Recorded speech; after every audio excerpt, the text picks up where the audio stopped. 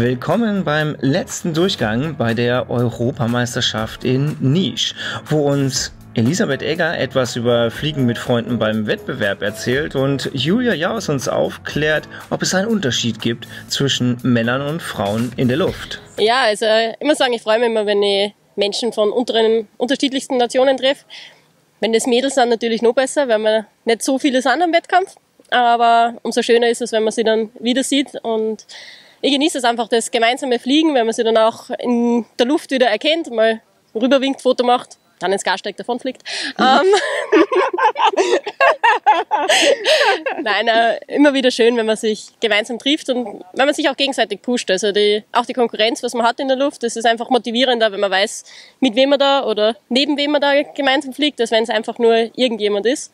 Und ich glaube schon, dass wir uns unter den Mädels eigentlich ganz gut gegenseitig erkennen und eigentlich uns jedes Mal freuen, wenn wir uns gemeinsam in der Luft treffen.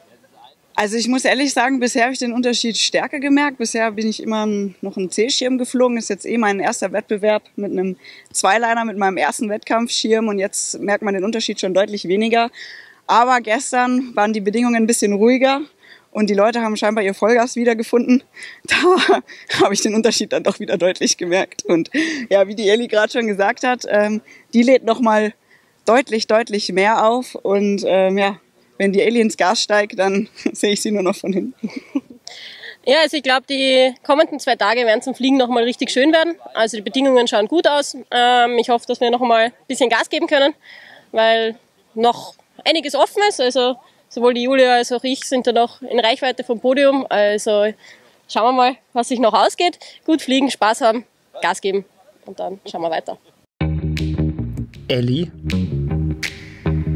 Julia, Jael, Ulrich Prinz, Johannes Baumgarten, Thorsten Siegel und Philipp Haag starten das Rennen. Und auch Niklas dreht auf nach einer kurzen Episode am Startplatz, aber dazu später mehr. So, herzlich willkommen im Cockpit. Wir sind heute bei dem vorletzten Cast von der Europameisterschaft. Ähm, ja, tricky Verhältnisse am Start. Es ging sehr lange gar nicht oder nur sehr schwach. Das heißt, alle Piloten haben dann am Start gewartet und es war ein bisschen stressig. Keiner hat sich getraut zu starten, weil keiner wusste, ob es hochgeht oder nicht. Ich bin jetzt in der Luft. Ähm, Hab's auch hochgeschafft, bin jetzt irgendwie ja, so 700, 800 Meter über dem Startplatz schon. Noch lange nicht an der Basis. Wieder wie gestern sind draußen im Flachen über Nisch schon Leute ganz oben an den Wolken. Da müssen wir wahrscheinlich auch noch hin. Aber erstmal heißt es weiter Höhe machen. Das denkt sich auch Ferdinand Vogel. Darauf zu achten ist heute, dass die Höhenbegrenzung bei 3000 Meter liegt. Die dürfen nicht im Wettbewerb überflogen werden. So, ja, heute ist wieder ein interessanter Start. Wir haben noch 30 Sekunden bis zum Start und zwei Kilometer bis zur Startlinie. Trotzdem hat sich keiner so richtig getraut, loszufliegen, äh, weil es ein langer Task ist. Am Anfang gibt es sowieso keine Leading Points und es wollte eigentlich nur jeder möglichst hoch auf den anderen drauf sitzen. Jetzt endlich äh, fliegen wir los. Ich bin so in der Mitte ungefähr vom Feld, von der Höhe her. Ähm, ja, schauen wir mal, was es wird. 100 Kilometer nach Süden. So, ganz schönes Chaos. Ähm, keiner weiß so richtig, welche Linie jetzt die optimale ist. Deshalb wird die ganze Zeit zickzack geflogen. Ich glaube aber jetzt da vorne, da bildet sich eine schöne Wolke, dass das unser Ziel sein wird erstmal. Einmal noch Höhe tanken vorm Endanflug und dann geht es für Baumi im Vordergrund und Ferdinand im Hintergrund in den Endanflug ins Ziel.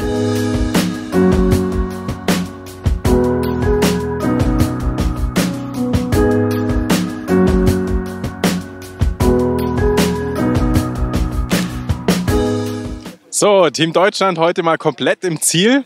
Neben mir der Niklas. Niklas, ich glaube, du hattest irgendeinen fetten Stress am Startplatz. Was war da los?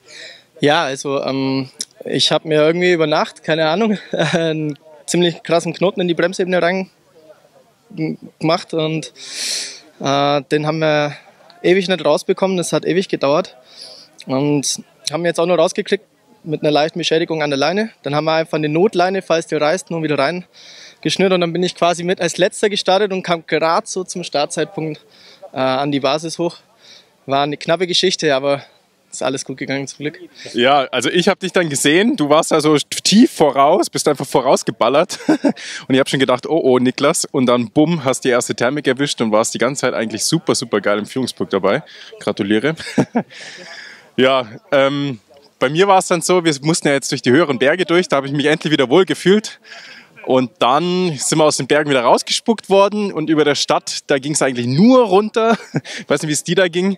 Ich habe dann noch irgendwie einen so einen harten Dusty erwischt, um noch mal ein bisschen Höhe zu machen, um ins Ziel zu kommen, aber der war ein bisschen schwächer als das, was die anderen hatten. Wie lief es dir da? Ja, das kann ich nur bestätigen. Ich war noch mal ein Stockwerk tiefer, ähm, bin da auch mitgeflogen einfach, habe eine schlechte Linie gewählt und stand fast schon am Boden, also am Ortseingang da bei der Stadt. Da hat es mich dann auch zum Glück kurz vor knapp, knapp auch nochmal hochgekorkt. Und dann bin ich doch noch ins Ziel gekommen, aber halt leider zehn Minuten zu spät oder so, weil ich relativ lang suchen musste. Ja, macht nichts. War trotzdem ein geiler Tag, oder? Ja, super. Also mega cool, alles mit dabei. Flachland, Berge. War richtig cool heute. Julia Jaus belegt den fünften Platz in der Damenwertung vor Ramona Eckert auf Platz 11.